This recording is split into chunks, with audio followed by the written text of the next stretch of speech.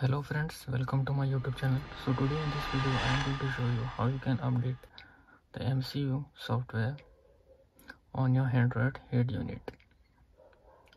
So if there are any updates of mcu for your android head unit you can follow this process to update.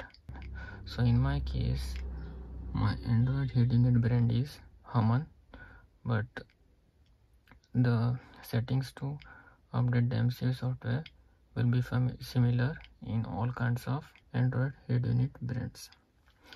So let's get started. To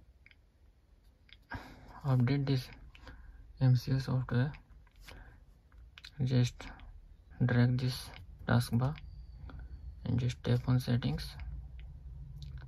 Over here, you just scroll down the option and tap on about on this about page you will need to just scroll down and here under system message you will find the updates button.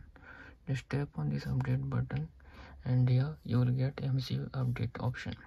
So to check if any updates are available for your Android head unit just tap on the updates button.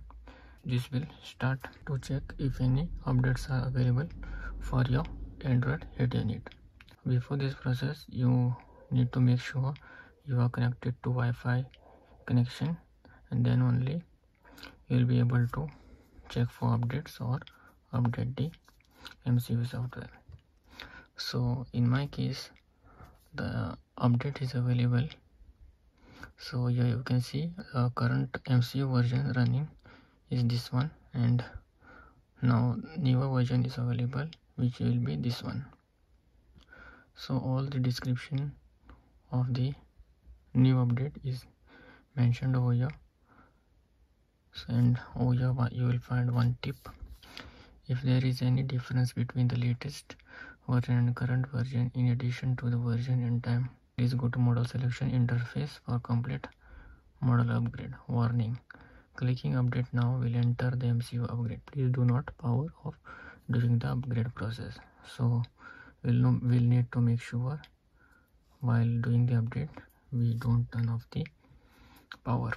So to proceed updating just tap on update button and this will start updating and this will start the update process. So over here one notification has been popped up blocked by play protect. So this message saying it is being blocked by play protect. So the app was built for older version of android and doesn't include latest privacy protection.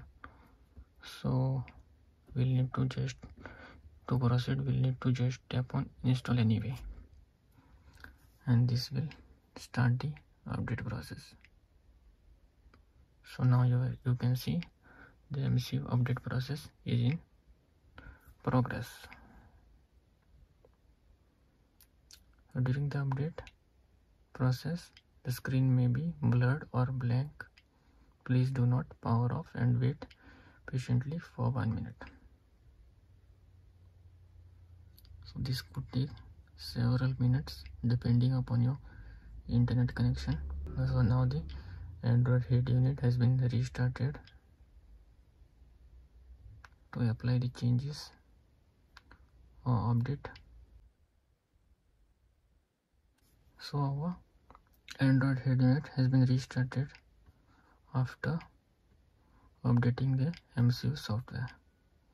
So like this way you can update your android head unit mcu software. So let's just cross check once if the mcu software has been successfully updated or not. Just drag down this taskbar. Just go to settings do here about just scroll down. Updates. Here if you again tap on updates. See you are the latest version. So this means the software has been updated to the latest version and currently no more updates are being available for this android 8 unit as it has been already updated so like this way you can do the updates of mcu so that's it for today. Have a nice day. Goodbye